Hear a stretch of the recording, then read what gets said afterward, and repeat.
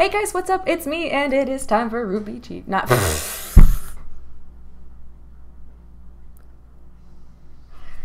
Yang trailer.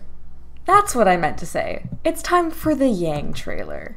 So I have the video already, and they were gonna. I don't remember when they were originally planning to release their Yang trailer, but um, it's today.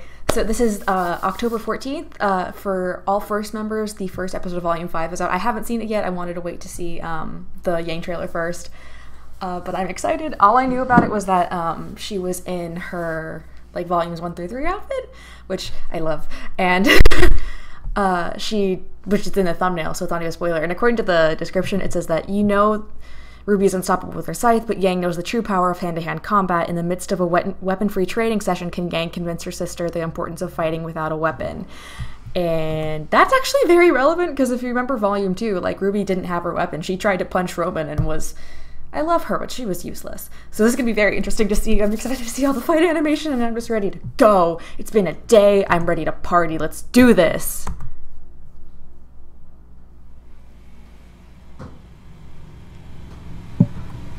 Bumblebee.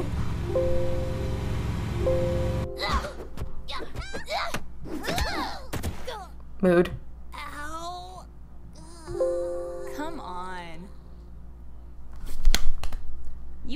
You totally could have dodged that. Yang, I already told you. I'm just not cut out for hand to hand. Why can't I just use my beautiful crescent rose? Exactly why I wouldn't let you bring it. I'm Mood. gonna be leaving for Beacon soon. Aww. I want to make sure my little sis could hold her own while I'm gone. Aww. Right, this was before. Fine. Oh.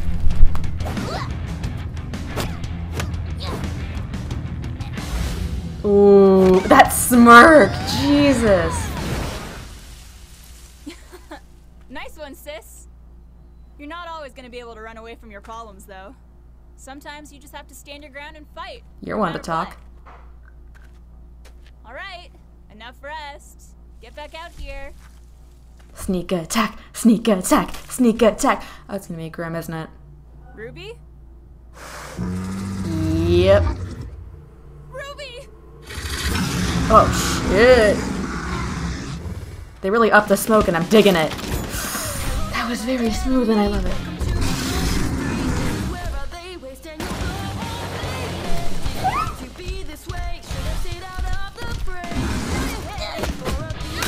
Ooh. Ooh. Nice. Okay. Oh, her hair looks so good. God, the comp on this is awesome.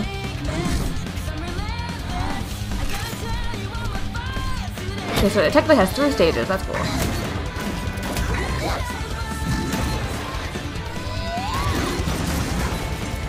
You're just hitting the plating, Yang.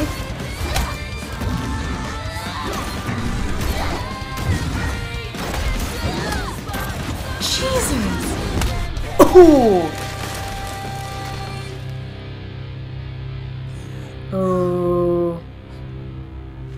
That's not good. No, no, no, no. Uh-oh. Uh-oh. It can sense your fear! Come on, Ruby.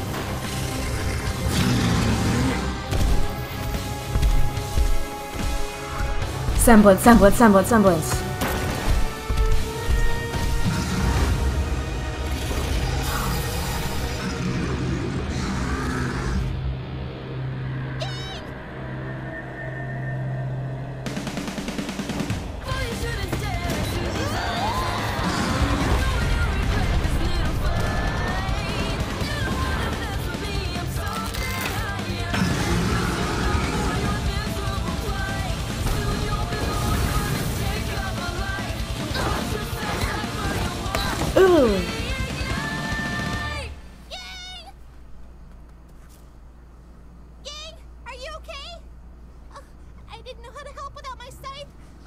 Sorry.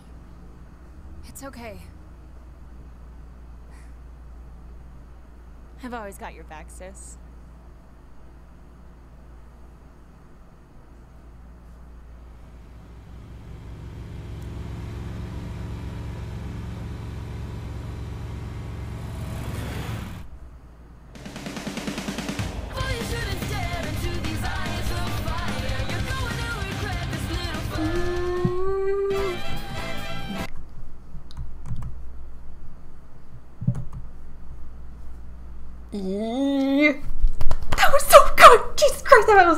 I have been waiting for like a really good fight scene. Like I know that we got one with Weiss and we got one with Ruby because there's the whole um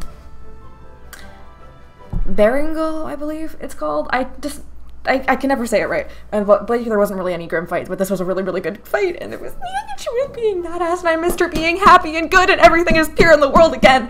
And God, she was. She literally threw herself into the mouth of a Beowolf.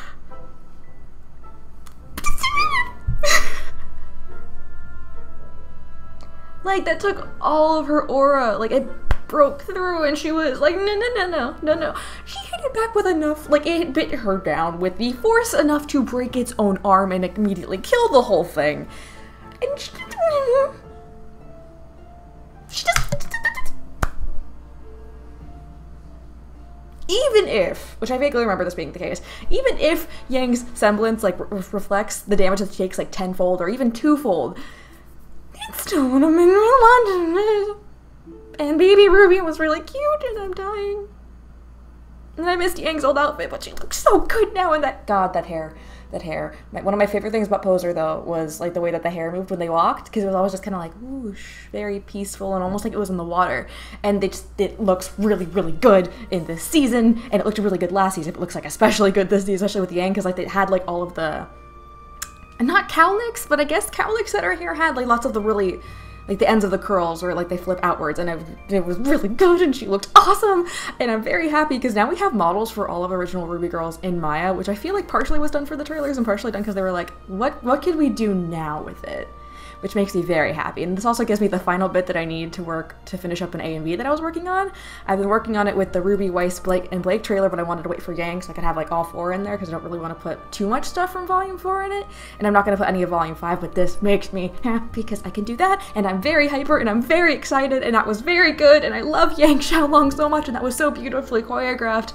I want to know if that footage of that is out there. And I want to, eh, I, I want to know like how much of that was like done specifically for this and how much of that was like mocap stock. But I am very excited to see where this goes. And she's going after Ruby because she always wants to have her back. And it was before she left for Beacon, so it was probably like the summer between Sig- uh, when Signal, when she graduated from Signal, and when she went to Be- Beacon.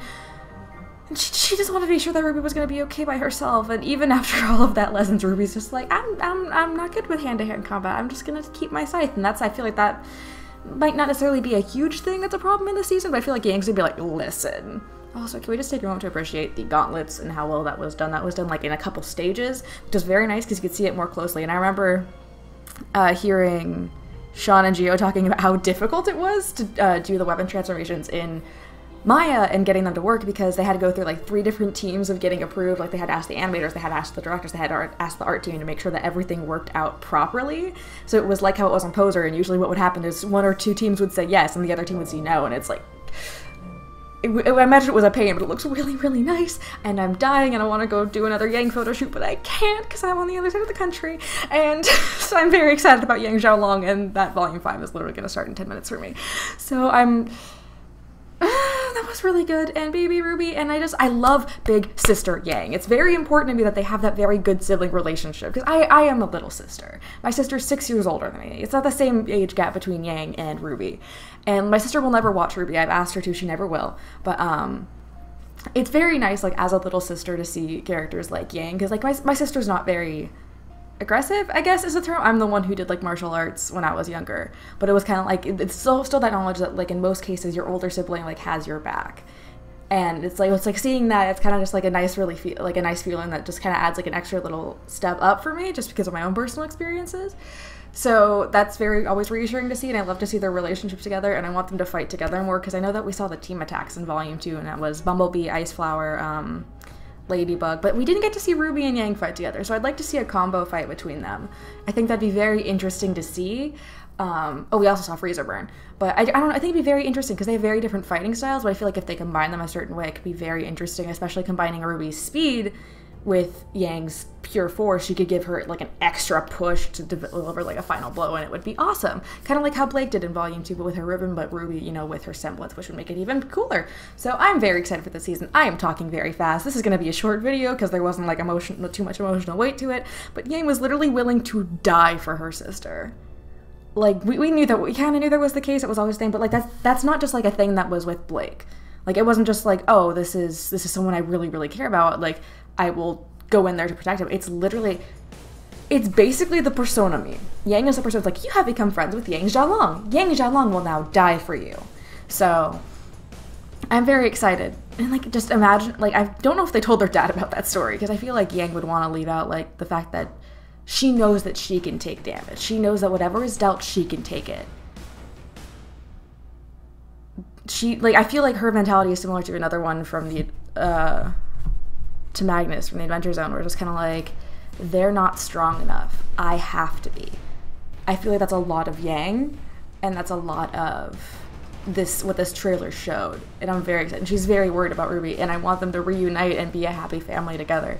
And I'm gonna go watch Volume 5 and probably die inside. So I will see you guys next week. This is gonna be one of two videos uploaded today or this weekend because I have the Ruby Chibi season finale that's also gonna be uploaded, but I wanted to put this one up first since it seems a little bit more relevant.